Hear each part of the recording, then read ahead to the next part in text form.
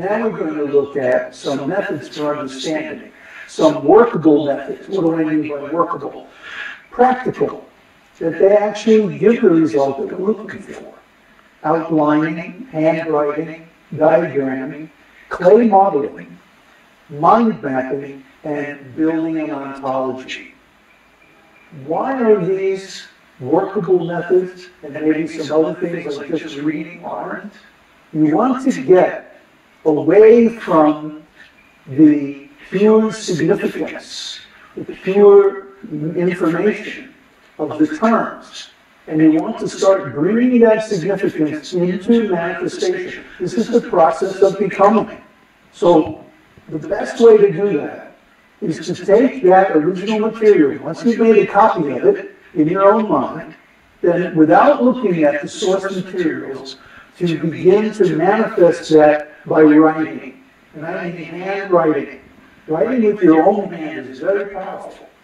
It's extremely uh, potent, especially when dealing with abstract subjects like math. Don't use a computer for math. Don't use uh, Mathematica or whatever it is. Much better to write it by hand than do it on a computer to make it neat. Why is that? Because you begin to engage the senses of the physical body in the process of obtaining the knowledge, obtain the skills. You begin to bring the thing into manifestation. It's not just name and form anymore. Now it's senses. Uh, remember, six senses is one of the stages in the process of dependent origination. So when you bring a subject from name and form into the senses, you begin to make it yours. You begin to change your being physically. You begin to wire those connections into your neurons, into your brain, into your very muscles and bones.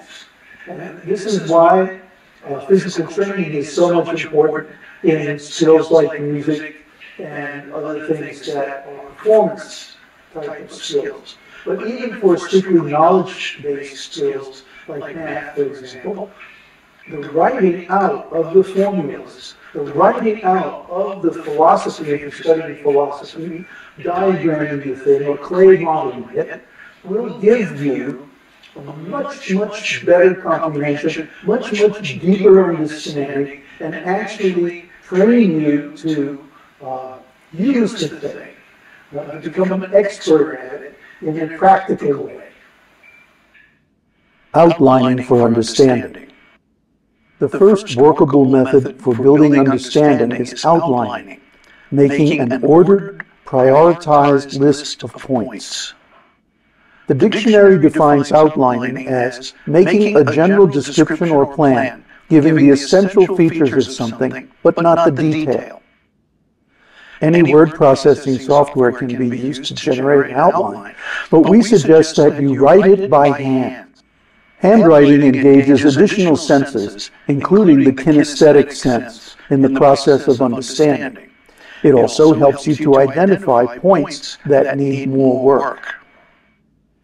You were probably taught to outline in Harvard style, but it doesn't have to be that way.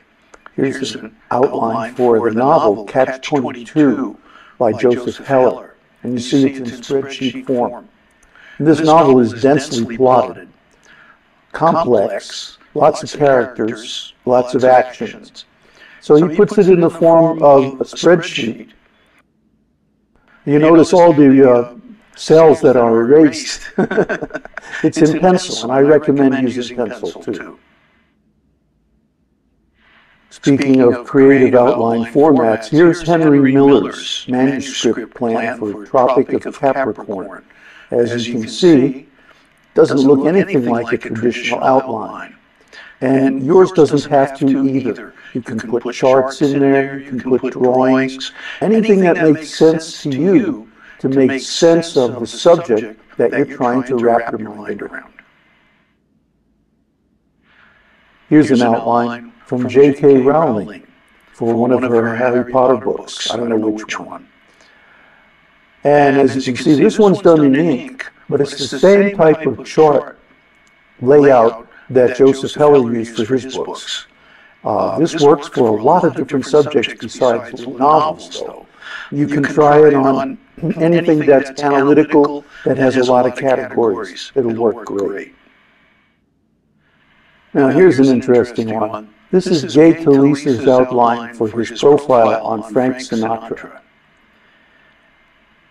It's done in magic marker, all kinds of different colors, sketches, weird shapes and arrows.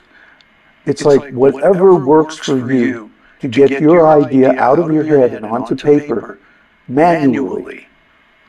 Don't use computer programs, Right. Now let's talk a little bit about clay modeling. A very useful and workable method for building understanding is clay modeling. Most people have never encountered it, so give it a try. You might think it's silly, only kids do that, but it is very powerful. It works on the principle of exchanging significance for mass, getting the concept out of your head and allowing you to physically manipulate and play with it. You don't have to use clay. Wooden blocks, nuts and bolts, or any odds and ends will do, as long as you label them properly. Now, here's a short demo of clay modeling. We're going to use ordinary modeling clay that you can buy in any toy store or stationery store very cheaply to demonstrate the process of planetary transits in astronomy. Okay, so what is a planetary transit? Here we have the sun, and the earth. You can tell it's the earth because it has a label. And then you have the moon going around the earth. Okay? So every so often, the moon comes around in between the earth and the sun. That just happened a couple of weeks ago. When we made this video, we had an eclipse of the sun. So when the moon moves across the face of the sun from the Earth's point of view, that's called a transit. Sometimes Venus also does the same thing. Let's make the scale a little bigger here. Sometimes Venus goes between the Earth and the Sun in such a way that it crosses the sun's disk, and that's called a transit of Venus. Now, a transit is also a conjunction. In other words, a conjunction means that the planet and the sun, Venus and the sun, are in the same direction. It happens with the moon, too. When the moon is in the same direction as the sun, you have a conjunction between them. What's the difference between a conjunction and a transit? A conjunction doesn't necessarily mean that the moon moves in front of the sun and covers it, or that Venus moves in front of the sun and covers it. Right?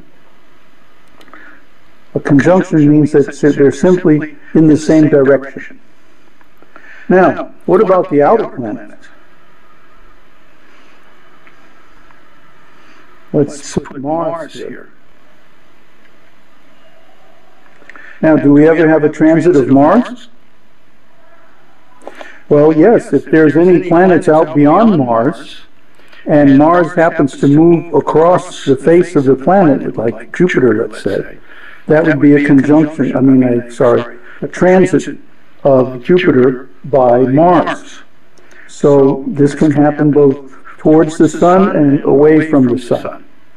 This is just a very simple demonstration to give you an idea of what a clay demo is all about and how using a clay demo can actually make the idea, concept come alive. Because we can, we can sit here and line these things up the way they would actually look. Like here's the earth, and here's the moon going around, and the moon actually goes in front of the sun. And that's a conjunction. I'm sorry, a transit, or Venus actually going in front of the sun. This happened just a few months ago. So in that way, we can model these things, get the ideas out of our head and into physical space where we can move them around and model the phenomena that we're studying. It works with anything. Now, let's quickly go over mind mapping. Mind mapping is another workable method for building understanding. Here is where software becomes very useful. You are building a network of concepts and terms and showing the hierarchical connections and relationships between and among them.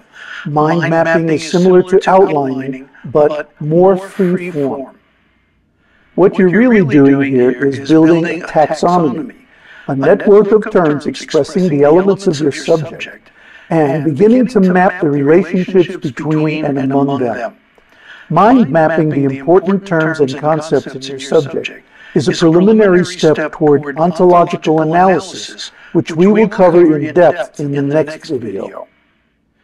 Here are some good software tools for mind mapping. Take a look at XMind, MindNode, The Brain, pricey but very powerful, FreeMind, and look up on Wikipedia.org the list of concept and mind mapping software, complete with links to the software developers.